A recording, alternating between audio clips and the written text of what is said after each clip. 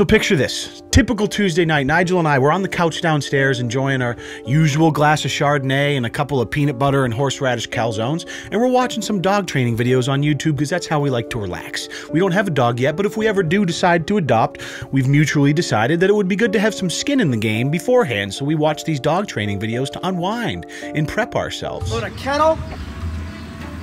Sit. Oh, Heel. you're doing great, Luna. Oh. heel. Keep it up. Precious. So we're watching Luna bounce to and fro from these tires, happy as a clam, having the time of our lives, and then one or two clicks later, all of a sudden, Now, what, what we're gonna do today is I'm gonna use a small camera.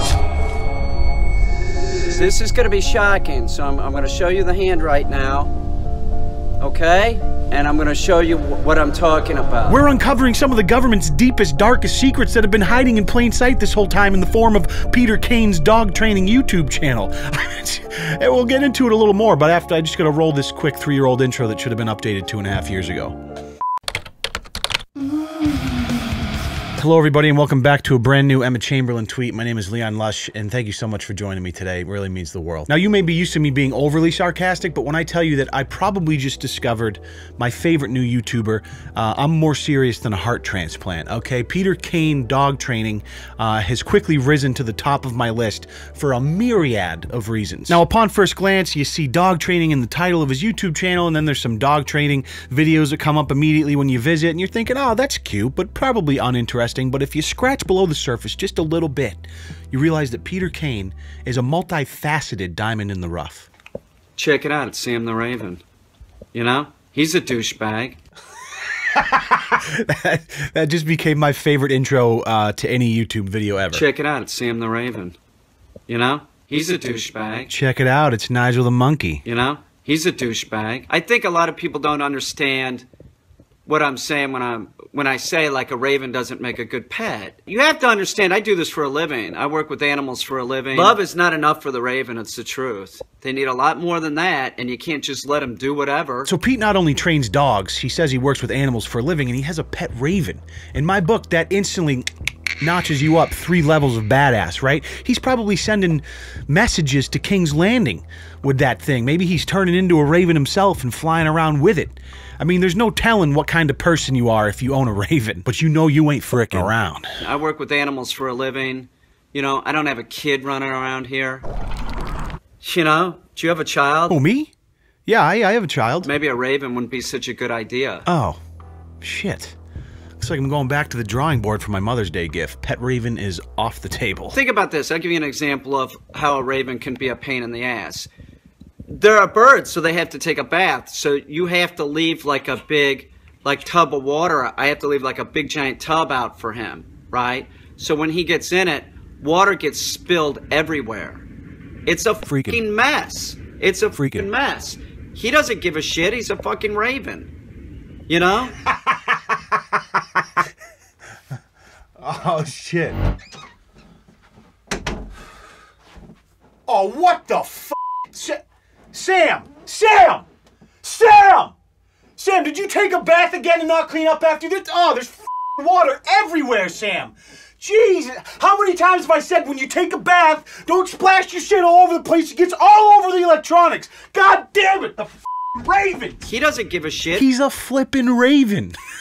It's the idea of having the pet raven that people like. It's it's when you get it, you'll you'll find out that it's a lot of animal and probably not appropriate for most people. God, that's so true for so many things in life, isn't it? When the idea is great and then you actually do it and reality starts to set in and you're like, "Yeah, yikes, can I get a mulligan on that decision? Did you have any clue how much work it would be to own this raven? I mean, we could just kill it. No, we can't we can't kill it. That's Just light it on fire. what? No, we can't. li- What the fuck is wrong with you? Anyways, he's got a playlist of videos with his Raven, um, and it's just totally underappreciated, I think. And this is the kind of content where the comment section is always just the cherry on top. I love how honest and angry you just came at me. I don't know how I got here. I've never considered getting a Raven. 10 out of 10 would recommend this video to a friend. that is actually exactly my experience with this video as well. I don't think he realizes that he's the Raven's dumb pet human. He is in a toxic relationship with the Raven, which he can't escape from. You know? I just love how proud the Raven looks as he lists off all the terrible reasons to own a Raven. I mean, historically, Ravens are a proud people. Now, these Raven videos are just the beginning. Pete, the dog trainer, has over 4,200 videos on his channel, and this next title is without a doubt my favorite. No human female would have my child, so I have a pigeon baby. yeah, that one gets me going. That's solar. That's my pigeon baby. That's right. And the thing that I've noticed about Solar is that she sort of looks like a quail. She does. She's got a head like a quail. I could listen to Pete talk about his pigeon babies for hours on end. This is the pigeon that was incubated by me holding the egg. See, he's not even clickbaiting when he says, I have a pigeon baby in the title. This man held this pigeon egg in the palm of his hands and incubated it until it was born. And in the pigeon Old Testament, that actually legally and spiritually makes you the rightful father. Oh, you thought Crazy Pigeon Lady from Home Alone 2 loved pigeons? No, no, no, no, okay? Peter Caine dog trainer is incubating these pigeon eggs in his bare assed hand when mom needs a breather because pigeon dad's not around. So Pete takes over. That's pigeon love. Throwing a little bird seed out at the park to look cool amongst your homeless friends. That's some surface level bullshit, love. That's no different than telling a lady exactly what she wants to hear just because you want to get laid. What Peter Caine is doing, that is real love. That's some sort of putting your raincoat over a puddle so your lady can walk over it when the cameras aren't rolling kind of love. I helped incubate the egg as much as Remy. Well, not she. She sat on it much longer, but I helped. Right, Remy? Remy knows. If you haven't nurtured a baby pigeon egg to full term hatch ready through the warmth of your bare palms, are you even an animal lover? Doubt it. I couldn't find a a, hu- a human to have a baby with me, but I found a pigeon that wanted to sort of adopt a baby. Solar has beautiful plumage. It is interesting how her auricular feathers blend right into her hackle, and her lores are dark and spill into her nape. Spectacular specimen. that is easily top five YouTube comments of all time. So the bird videos are great. I love how much Peter loves his pets and he's entertaining uh, when he's talking about them and talking to them, whether or not he's trying to be, I don't know. But as you dig a little bit deeper into his channel, things start to get a little weird. When my father shot the Bigfoot in 1953, they had to cut them up to get them out of the swamp. They were too big, so they started cutting them up. This is one of the body parts. It's a hand from a, a young Bigfoot.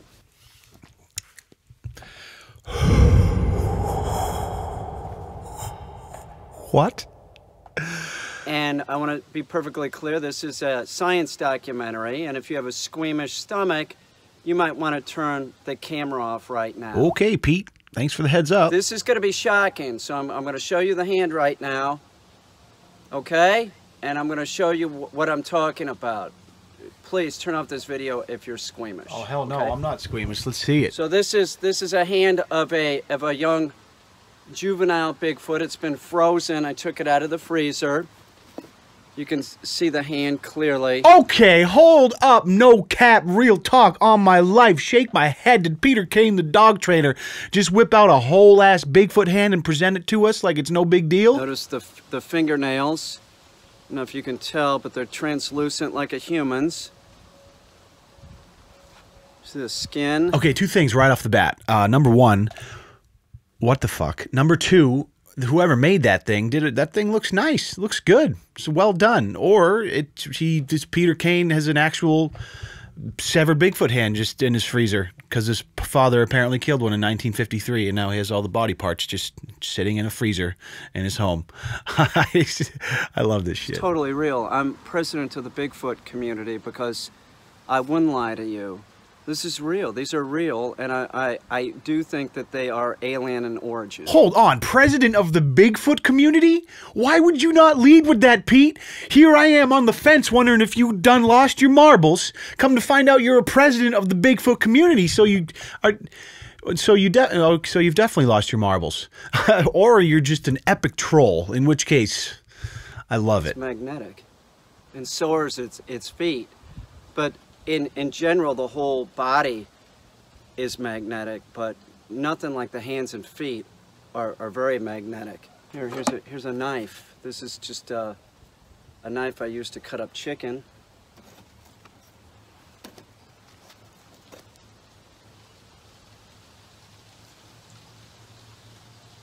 How is this possible? Well, I could think of a few explanations off the top of my head that involve magnets, but if we're going to stick with the story that this is real, uh, because Bigfoot's hands and feet have magnetic properties, and how else could a kitchen knife be hanging from his hand like that? Then we'll we'll just we'll go with that. That sounds good. Watch this. It's not done with glue or Velcro.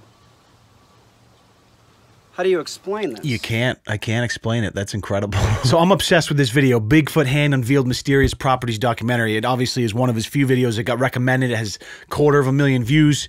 And Peter Caine, in my opinion, is a low-key comedic genius. Or schizophrenic or a healthy blend of the two. But I'm gonna. I'm pretty sure he's just he's just trolling for fun. He's not messing around either. He's got multiple videos on this. I think he probably saw how well that video performed six months ago, and then like a couple weeks later, uploaded another video further proving why the Bigfoot hand is real. There's a fly on it. There's there's flies on it.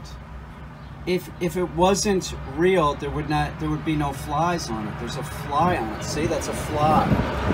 It's a fly. As if the Magneto Bigfoot hand argument wasn't compelling enough, he's now uh, pointing out how flies are attracted to it. You see the fly? There's flies on it because it's meat. It has to be real. How could that be? And I'd say I'm, I'd say seal this one up. This is this is that's Bigfoot's hand. I'm convinced. It's totally real. Look at that. What are you? Is that a fake? Is that a fake bee too? You think that's a fake bee? I'm telling you. Look at it. It's close up. Does it have magnetic-like qualities? Check. Is there a real bee on it? Check. Yeah, that's that's a real Bigfoot hand. I think you are the coolest. It's incredible. You have me convinced. Huh, that's a reasonable that's a reasonable thought process. So Peter is all in on this troll, man. He's got videos of a severed Bigfoot foot. He's got a video, his most viewed video, I believe, of a, a severed Bigfoot head. You can tell the immense size of the creature by comparing it to my to my head. My father shot the Bigfoot in 1953. They had to cut it up to get it out of the swamp. I have all the body parts. And he's got videos for days, man. Don't be fooled by the YouTube channel named Peter Caine Dog Training. He's much more than a dog trainer. He is a underappreciated YouTube comedic genius. And the comments are fascinating. I mean, there are people that actually think it's real and are like, wow, this is incredible. I would love to talk more about it. And then there's people that really think that he's being serious about it which um, can be questionable up to a point, but I did find this old video of his that really sealed the deal for me, knowing it was a troll. You get used to the taste or something. It tastes great. It really does. Oh, fuck. Oh, I feel so much better. Stuff is great. I'm 50 fucking three. Look at this. Look at this. This was never like this before. Look at the muscle tone. What happened? I was never like this. I've never worked out.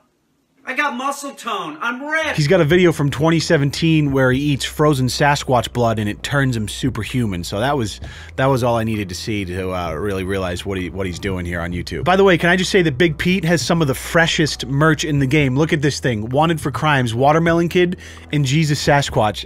I have no idea what that even means or what it's from, but it's hilarious, and I'm I'm absolutely gonna buy one of these shirts. Coming into this video, I did not think I would be promoting Peter Caine dog trainers merch by the end of it, but here we are, and I'm, I'm buying one of his shirts myself. Anyways, that's it, guys. Thank you for watching. I hope you got a, a little laugh out of it, and uh, this was, uh, you know, this wasn't a piss take. This was more of uh, just an enjoyment of Peter's craft.